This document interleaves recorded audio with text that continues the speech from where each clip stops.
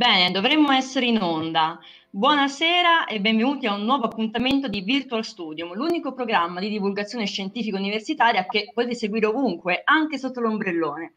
Quella di oggi è una puntata che rientra nel nostro ciclo di incontri dedicato al SIMUS, il Sistema Museale Universitario Senese. Con noi in collegamento la professoressa Vera Montalbano, docente di didattica della fisica presso il Dipartimento di Scienze Fisiche della Terra e dell'Ambiente, direttore della Fisica nella Scuola, rivista didattica dell'Associazione per l'insegnamento della fisica, e che oggi è con noi non solo, ma soprattutto in qualità di direttore delle collezioni degli strumenti di fisica. Dico non solo, ma soprattutto perché le attività svolte dalla professoressa Montalbano sono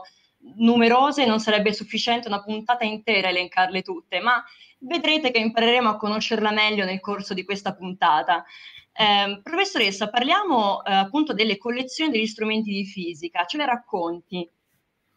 Sì, la collezione nasce negli anni, diciamo, 70 circa 60-70 eh, per l'interesse del professor eh, Pier Giorgio Bergamini che ha, ha, cura, ha, raccolto gli strumenti e poi li ha, li ha anche sistemati, ha recuperato cos'erano e quant'altro. E ha trovato una collocazione particolarmente insomma,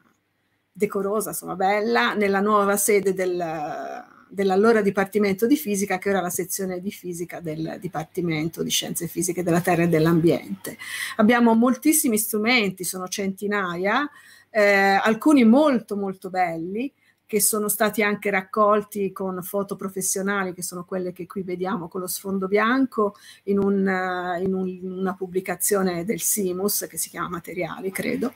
E come vedete però sono estremamente assiepate in queste teche, in questo corridoio della nostra sezione e eh, notate le bellissime, si fa per dire, è ironico, eh, etichette che descrivono le, eh, lo strumento. Vedete, sono dei cartoncini gialli anche un po' datati, dove c'è praticamente il nome dello strumento e circa l'anno e nient'altro. E questo eh, mostra un, un, limite della nostra esposizione che eh, ne impedisce la fruizione totale da parte del pubblico.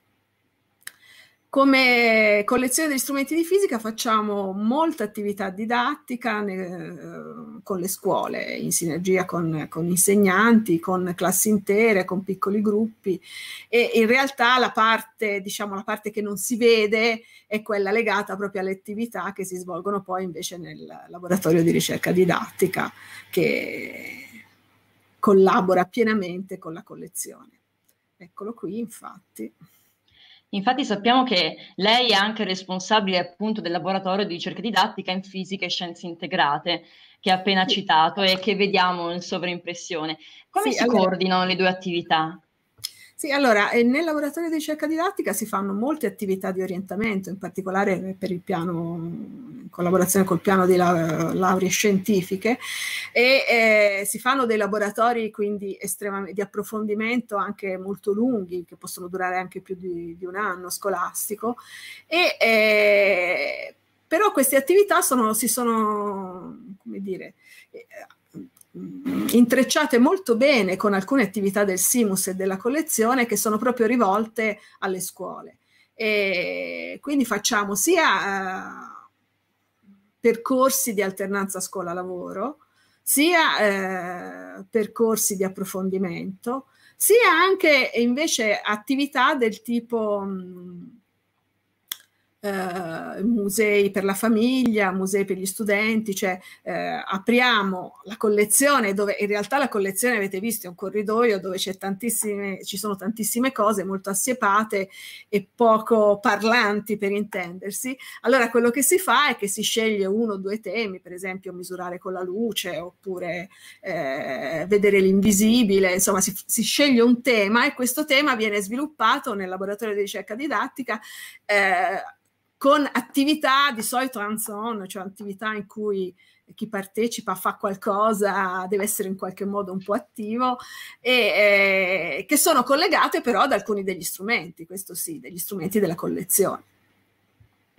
Beh, la ringrazio per eh, la sua introduzione e per aver presentato eh, questo luogo, eh, diciamo, quasi magico, e a volte diciamo, da, un, da, un'aura, come abbiamo visto, anche un po' vetusta da, da questi bigliettini. Andiamo però, infatti, mi ricollego a, a, ai bigliettini che lei ha fatto notare prima,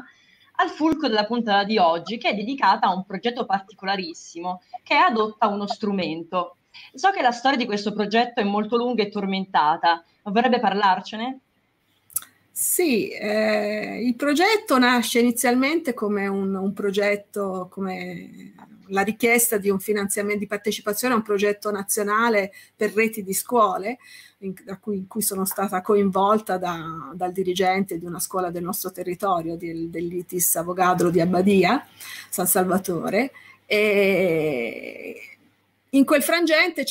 venivano finanziati pochissimi progetti a livello, a livello nazionale e eh, pagava appunto una, avere una grande sinergia con, eh, sia con le reti di scuole sia con gli enti del territorio. Allora noi abbiamo pensato a questa attività che fosse un,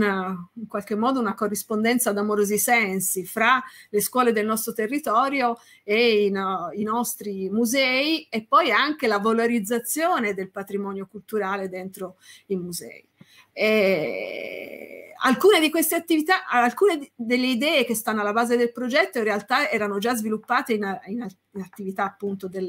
del piano laurea scientifica o comunque già ci stavamo pensando, però questa è stata l'occasione per mettere a sistema tutto. Qui c'è un, un po' un, un, elenco di tutte le varie attività che sotto vari nomi si facevano. In particolare il progetto del, che da, più che decennale del SIMUS, che è l'ESCAC, l'educazione scientifica eh, per la cittadinanza attiva e consapevole, è particolarmente adatto per questa, per questa cosa. In questo frangente noi abbiamo sviluppato dei percorsi appunto molto, molto attivi dove i ragazzi fanno molte cose eh, in laboratorio e secondo noi questo avrebbe potuto eh, portare anche a un vantaggio per il museo. Il vantaggio che ora tra un attimo andremo a vedere è quello proprio di rendere un po' più attuale il modo di fruire il di valorizzare il patrimonio che viene conservato dentro i nostri musei. Allora, ovviamente, come tutti i musei, musei piccoli soffrono del, del, di carenza di fondi e di personale e quindi della realtà senese è, è, molto articolata da questo punto di vista perché ci sono i nostri otto eh, musei del, del, Simus, poi c'è la Fondazione dei Musei Senesi a cui noi facciamo riferimento, eh, aderiamo, dove c'è anche l'Accademia dei Fisiocritici, è tutta una rete di piccoli musei che sono, eh, che sono calati nel territorio, che hanno al loro interno delle cose anche molto valide che però sono misconosciute, misconosciute anche perché non, non non ci sono i fondi per, per uh, valorizzarle adeguatamente. Allora l'idea era quella appunto di, in questo progetto di far sì che eh, le scuole contribuissero a, valori, a valorizzare questo, questo, questo, patrimonio, utilizzando però anche eh, le capacità dei ragazzi in un progetto che potesse essere in qualche modo coinvolgente per loro. E qui sta proprio il discorso dell'adozione. Allora, per intanto da cosa partiamo? La collezione degli strumenti di fisica è una di quelle che è più online per intendersi, nel senso che abbiamo, proprio in grazia del fatto che abbiamo fatto questa catalogazione, questo libro con i nostri oggetti più belli che sono stati fotografati e, e questa però la nostra visita online è questa, la nostra visita virtuale fatta con queste tristissime schede dove è già difficile capire come scaricare la foto bella, eh, ma anche se uno la scarica, poi dopo le informazioni legate proprio allo strumento sono più una scheda di archivio che non una scheda per poter fruire effettivamente, capire di che si tratta, capire di che si tratta, collocarlo storicamente, capire come funziona dal punto di vista della fisica perché è importante. Eh, allora, questo è quello da cui siamo partiti e volevamo insomma migliorare questa situazione. Ovviamente il discorso dei fondi sta nel fatto che se uno avesse fondi infiniti lo darebbe a società esterne, verrebbero delle cose fantasmagoriche, con un po' di, di tempo chiaramente a, a, a, disposizione. Invece l'idea del progetto, l'obiettivo dell'adozione è proprio quello di eh,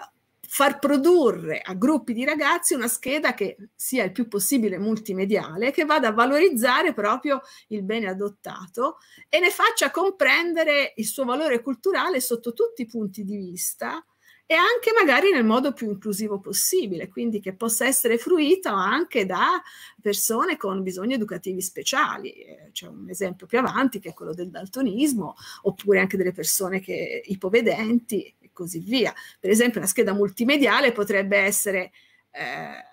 potrebbe avere poi anche una ricaduta, per esempio, su un oggetto invece che una, su una scheda invece fisica che possa essere per esempio scritta in braille, ma anche questa è una cosa che va fatta. E per realizzarla magari si possono usare stampanti 3D, quindi le competenze che i ragazzi vanno a sviluppare nel sviluppare queste schede multimediali possono essere fra le più varie e anche le più interessanti, anche dal, per, dal loro punto di vista. Tutti i prodotti eh, verrebbero, ver, vengono creati in licenza Creative Commons Commons in modo che le, possa, le, scuole le possono riutilizzare, così come le possiamo riutilizzare noi eh, a tutti i livelli. E non solo, possiamo riutilizzarli come punto di partenza per migliorarli. Assolutamente. Ok. E... Ah, per ora a chi è stato dedicato il progetto? Allora, inizialmente il progetto era pensato per rete di scuole.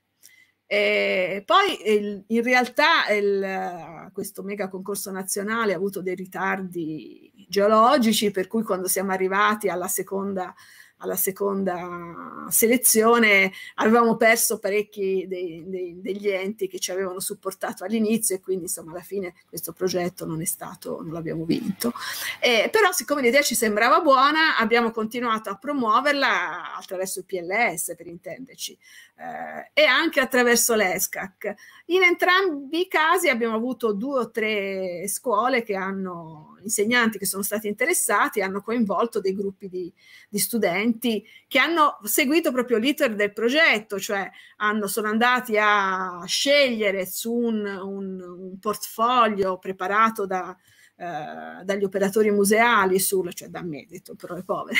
per eh, cioè un elenco ragionato di eh, insieme all'insegnante di, di, quegli studenti abbiamo guardato quali potevano essere eh, gli strumenti collegati alla fisica che veniva poi fatta effettivamente da quella classe, da quegli studenti in quell'anno, quell'anno scolastico ne- o al massimo l'anno scolastico successivo. Si sono selezionati 4-5 strumenti, sono stati presentati ai ragazzi, se ne è stata presentata anche la, insomma, le possibilità di, di sviluppo come, come come lavoro da parte loro, loro a quel punto ne sceglievano uno e su questo la, cominciavano a lavorare. E nel lavorare possono fare tantissime cose, nel senso possono arrivare, cosa che vedremo penso nella prossima slide,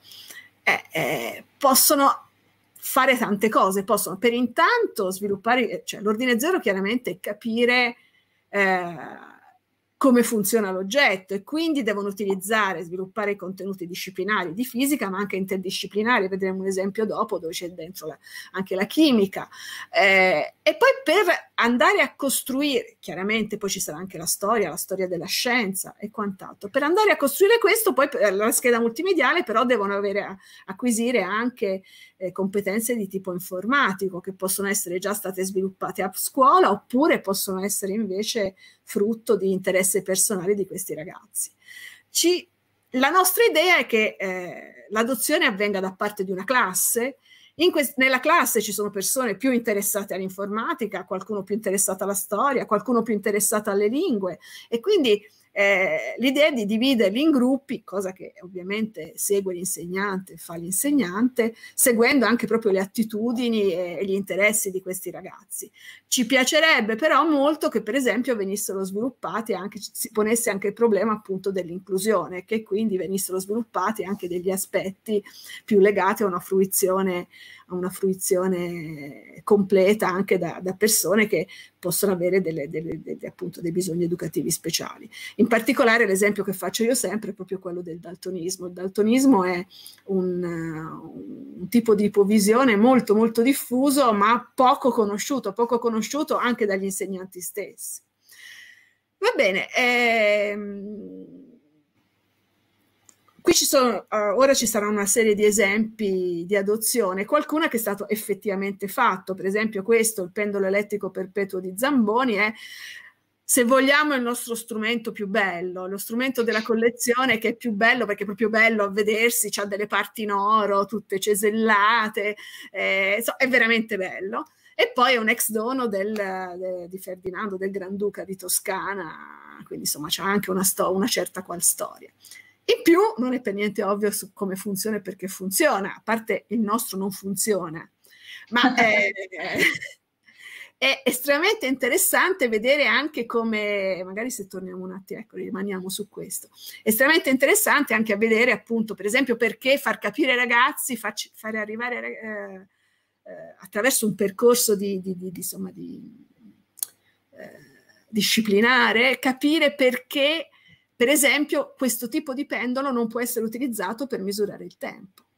perché in realtà si va, si va, a scoprire che ha un periodo variabile nel tempo perché dipende da quanto sono cariche le due pile. Allora, le due cose di lato sono le pile Zamboni e sono pile a secco che eh, hanno durato, si chiama, questo si chiama pendolo perpetuo perché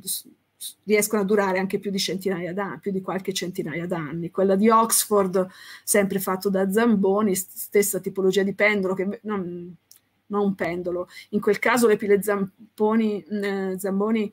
eh, alimentano un campanello elettrico. Allora il campanello elettrico riesce a suonare, ha suonato per fino agli anni 30-40 perlomeno, cioè quindi eh, dell'ordine di 200 anni. Allora capire per intanto che esistono queste, questa tipologia di pile, perché queste pile non le troviamo al supermercato? Questa potrebbe essere un'altra domanda. Possiamo ricostruirle? Sì, la ricetta Zamponi ce l'ha lasciata, ma alcuni dei materiali che ci sono non sono più facilmente reperibili, allora possiamo trovare materiali analoghi. Cioè, eh, si apre, ognuno di questi strumenti, se per, per studenti studio, eh, curiosi, apre veramente un mondo di possibilità come, come cose. Poi vedete storia, storia della scienza. Le lingue, per le lingue la possibilità poi, una volta che uno ha costruito uno, una scheda più o meno accettabile pensare di tradurle in altre lingue, quindi in inglese, in francese o anche lingue forse meno, uh, meno note, ma che comunque potrebbero avere un interesse. Uh, comunque un modo per valorizzare ulteriormente il bene culturale. E poi da questo si può arrivare al laboratorio appunto di approfondimento, cioè il, il massimo, cioè veramente la cosa che, che più piacerebbe a tutti, insegnanti compresi, è arrivare al punto che i ragazzi ricostruiscono una versione didattica dello strumento che poi può rimanere nella scuola. E nel i, nel caso del PLS eh, noi siamo anche disponibili a finanziare la costruzione, nel senso a prendere, a comprare i materiali noi, non senza far spendere nemmeno nulla alla scuola. Questo però richiede dei, dei docenti e degli studenti molto, molto, molto, molto motivati. Questa è la cosa che... Eh, sono percorsi anche abbastanza che per essere fatti bene devono, richiedono anche molto tempo e molta passione da parte degli studenti. E quindi anche se un paio di volte è stato, è stato adottato il pendolo, che ribadisco è, un, è uno strumento abbastanza complesso da, da esplorare, eh, alla fine la scheda multimediale prodotta, vuoi perché si arrivava in fondo all'anno, il primo gruppo era un gruppo di studenti eh, che ha cominciato in quarta ma ha finito in quinta, in quinta poi c'era l'esame di Stato e quindi alla fine poi queste schede, secondo me, non, quelle che si sono avute finora non non rendono onore a tutto il lavoro che hanno fatto i ragazzi, perché quando si arrivava poi a, a sintetizzare nella scheda multimediale eh, si era un po' meno concentrati, il tempo era poco e via. Quindi diciamo che, che l'idea è buona, però la realizzazione, almeno queste le, le realizzazioni che abbiamo fatto in questi anni come in via sperimentale non hanno portato a delle schede pienamente soddisfacenti eh, e quindi speriamo appunto di poter. L'idea per cui oggi vi, presen- vi parlo di questo progetto è quella di estendere questa, questa adozione anche agli studenti universitari, perché secondo noi invece gli studenti universitari hanno un, dire, un'attenzione nei confronti poi anche della valorizzazione del lavoro che hanno fatto e del poter dire l'ho fatto io che è molto più forte che non quella degli studenti delle superiori. Cioè alla fine è evidente che se uno produce una scheda eh, multimediale, ma anche basic, alla fine ci sarà l'autore sarà quella ed è sarà pubblica, sarà online, quindi uno potrà sempre dire quella l'ho fatta io come, come cosa, che secondo me ha sempre comunque un suo, un suo, valore. Oltre che poi gli studenti universitari hanno un maggior numero di un più ampio spettro di competenze e di interessi e quindi possono approfondire molto di più alcuni degli aspetti che, che, che sarebbero utili per avere delle, delle, delle schede davvero eh, interessanti, che potrebbero diventare davvero la marcia in più per, per, questi, per, questi, per i nostri beni culturali, per i nostri musei.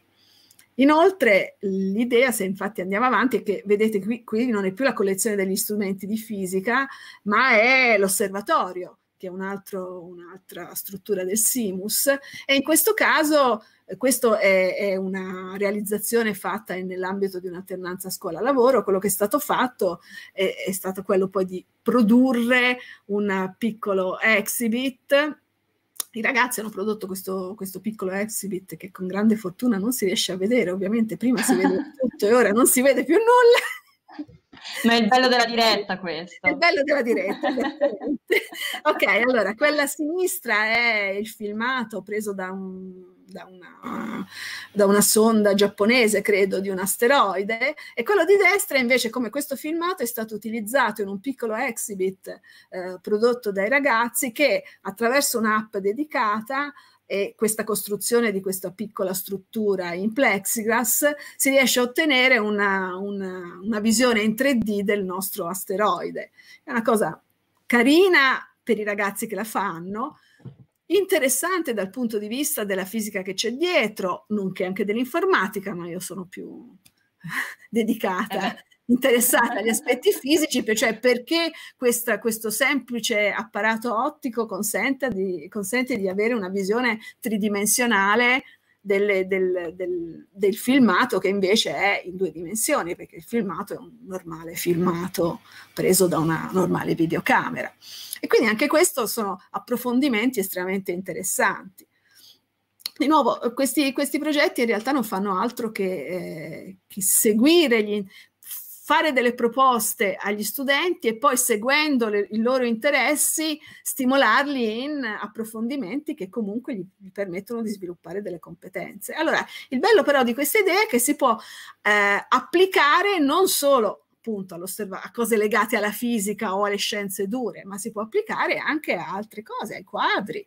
a, andandone a seguire eh, aspetti appunto di storia, storia dell'arte, chimica e fisica dei colori. Di nuovo recuperiamo le scienze dure, però a questo punto eh, legate al quadro, eventualmente come si alterano, quali strumenti multimediali eh, posso utilizzare poi per organizzare e condividere le informazioni raccolte. E qui sul, sull'aspetto informatico si apre un mondo se appunto c'è interesse, perché uno potrebbe pensare eh, di condividere, di fare schede multimediali diverse a seconda del tipo di pubblico che c'è, che, il, che possono essere esplorate. Per dire, sono un bimbo di sei anni, ho il pulsantone con il coniglietto, seguimi, seguimi, e lì mi viene spiegato il quadro e la storia del quadro con un linguaggio adeguato. Oppure sono invece più un, uno studioso e voglio un approfondimento, allora clicco sull'approfondimento e così via. Il realizzare questo all'interno di una, di una scheda multimediale richiede anche di non solo di averci le idee, ma poi di saperle anche realizzare nel modo più, più congruo e utilizzando ovviamente gli strumenti più attuali.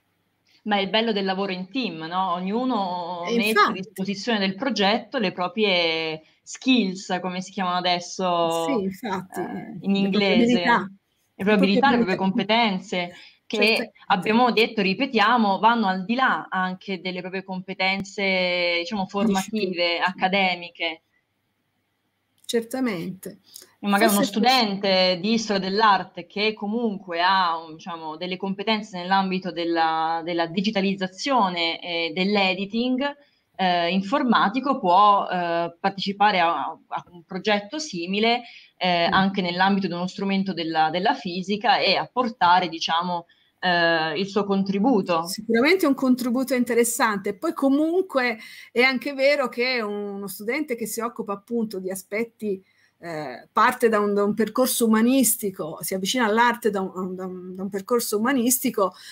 sicuramente ha ben presente che poi nella, nella professione, se riesce a, a, seguire questo suo interesse e a farne la sua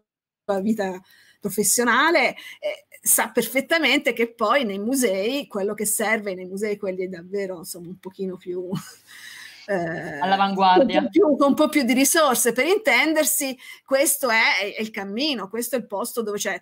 cioè quello che davvero conta è la qualità degli exhibit. Gli exhibit per essere eh, per attrarre pubblico devono sfruttare al meglio possibile non solo le idee, ma anche la realizzazione, soprattutto utilizzando appunto risorse di tipo informatico. Quello che mi fa piacere è che eh, nelle ultime due interviste qui a Virtual Studium per il Simus i nostri ospiti stiano lanciando insomma le proprie idee, i propri progetti, quindi eh, siamo orgogliosi noi di Virtual Studium di, di, essere il mezzo con cui queste idee si diffondono e forse eh, ci auguriamo di sì, eh, potranno attecchire eh, come sperato. Quindi lanciamo questo appello, insomma, eh, cerchiamo di far partire questo progetto diciamo, in simbiosi con, eh, con, l'università, in modo che anche gli studenti universitari possano adottare gli strumenti della collezione di fisica. Certamente, ora chiaramente il modo più semplice è contattarmi, però in realtà quello che noi ora vogliamo fare è mm, utilizzare anche tutti gli strumenti che mette a disposizione l'università per valorizzare appunto il lavoro dei propri studenti anche in, in attività trasversali come queste. E quindi abbiamo saputo dell'esistenza di questa cosa che si chiama Open Badge e speriamo di inserire eh, questa, questo tipo di attività in, questo, in questa valorizzazione anche di competenze trasversali. Soprattutto, comunque, al di là del, della realizzazione della, della singola scheda, il pensare, mettersi nell'ottica di realizzare qualcosa che comunica in maniera efficace contenuti di tipo scientifico, ma scientifico in senso assolutamente eh, più, più, largo possibile, più vasto possibile, perché eh, scienze, anche la storia, scienze sono anche le scienze umane, quindi eh, diciamo la capacità di, mh, di, comunicarle a un pubblico eh, vario, generico, cioè non, non, specialistico, è estremamente importante nella vita di tutti noi ed estremamente importante nella vita professionale nostra e dei nostri studenti. E quindi mettersi in, in gioco da questo punto di vista, secondo me, è estremamente importante e utile poi per il futuro, anche da, per i nostri studenti. È chiaro che una, un, un evento come questi incontri di Virtual Studium ci permettono di eh, farci conoscere e eh, far arrivare eh, queste idee anche a studenti che non avremmo mai modo di contattare, perché anche se noi lanciamo una call attraverso eh, le varie mailing list dell'università, è sempre una cosa insomma, scritta, triste, cioè che, di cui non si riesce a far cogliere effettivamente che cosa c'è sotto e le potenzialità che ci sono. Sì, sì, è difficile sintetizzare all'interno di una mail questa eh, infatti, no, poi so, ne, ne riceviamo 100.000 tutti quanti e quindi le leggiamo con un livello d'attenzione che è giusto per intendersi, per cui... Sì, è un eufemismo per non dire troppo basso. Sì. No, allora, io poi non, non, sto a entrare nel merito, però chiaramente la nostra università ha una serie di, di, strum- mm, di, strumenti, anche proprio di laboratori che possono, possono, possono, essere coinvolti. Quando si parla di realtà aumentata è ovvio che eh, ci vogliono competenze che non ho io, ma che hanno altri nella nostra università. Quando si parla di video interattivi si, può, eh, si possono mh, mm, cercare sul, eh, anche nel panorama internazionale. Quando si parla di stampa in 3D è chiaro che si ha in mente di coinvolgere eh, il Fab Lab qui, qui, sopra a Santa Chiara. Quindi insomma ci sono tutta una serie di, di, di, di insomma, di facilities della nostra università che se c'è motivo, si può, se, se c'è un progetto ben motivato, si, può, eh, si possono, possono essere coinvolti.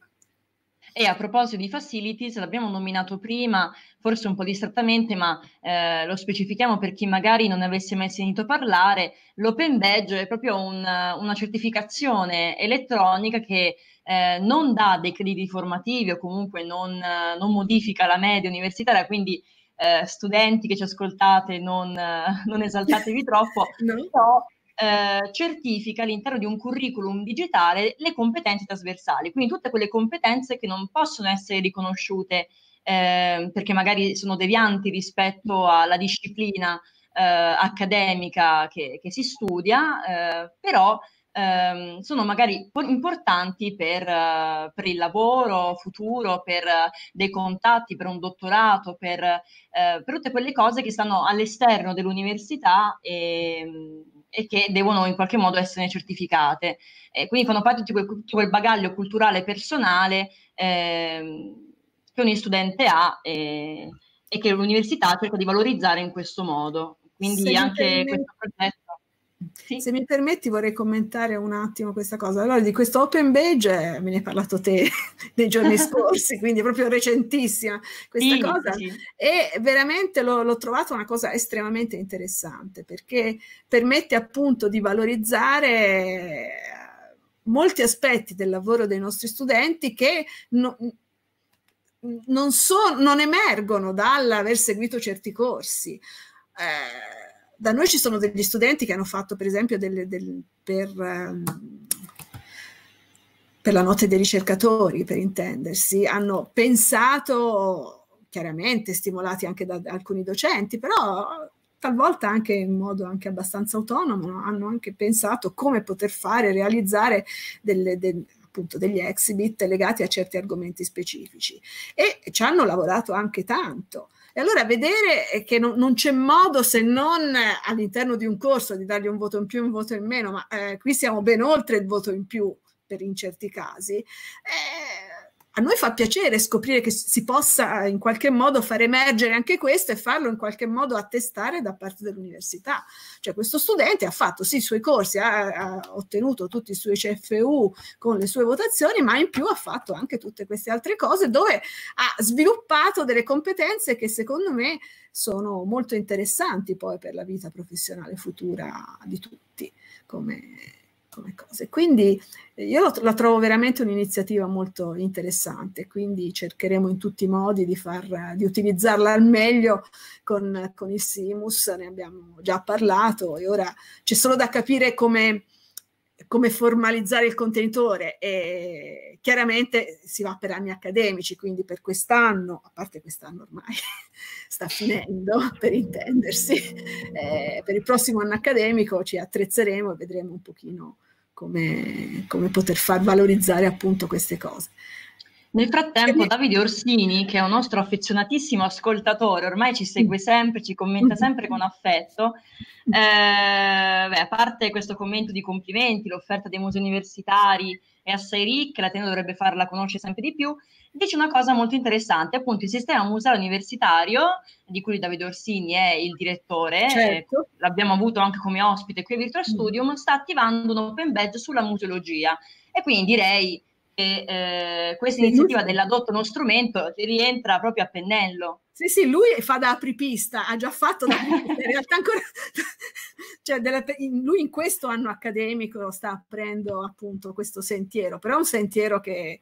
che secondo me potrà avere molti risvolti anche per tutti gli altri, gli altri mm, musei del Simus, proprio perché eh, ci sono molte attività che possono, secondo me, rientrare in, in, questo sviluppo delle competenze trasversali dei nostri studenti. E poi un modo anche per eh, incentivare gli studenti a partecipare di più a queste attività, forse, speriamo. E quindi a noi non ci fa solo piacere avere più studenti intorno. Sì, per creare una vera comunità studentesca, certo. senza essere poi divisi in vari dipartimenti. Eh, Esiste addirittura, ho scoperto di recente, una, una, mansione che è quello del knowledge manager che si occupa di gestire questi flussi di conoscenza all'interno di un'organizzazione. Mm-hmm. Per cui un'organizzazione università eh, gestire questi flussi di conoscenza, di competenze trasversali è, è, importantissimo perché ognuno con le proprie competenze eh, che aff- possono afferire sia ai propri ambiti di ricerca e di studio, sia alle, al proprio bagaglio personale, possono contribuire appunto alla, allo sviluppo e alla crescita di un progetto così, così interessante, così bello come quello che Vera Montalbano ci ha appena descritto, illustrato con, con passione e, e, vivacità. E per questo la, la, ringrazio tantissimo di essere stata qui con noi, di aver accettato il nostro invito e, e di averci parlato con libertà e schiettezza, estrema schiettezza. Vabbè, io ringrazio voi proprio perché appunto siete un, una finestra sul mondo studentesco che è estremamente importante. E, il discorso dei flussi di conoscenza è importante perché in quelle rarissime occasioni, no, rare occasioni perché appunto giusto appunto il mio tempo è un po' quello che è, quindi eh, qualche apertura... Ma lei è troppo impegnata. qualche apertura delle, della collezione proprio legata a queste attività che dicevo prima, tipo museo familiare, c'era anche il museo per gli studenti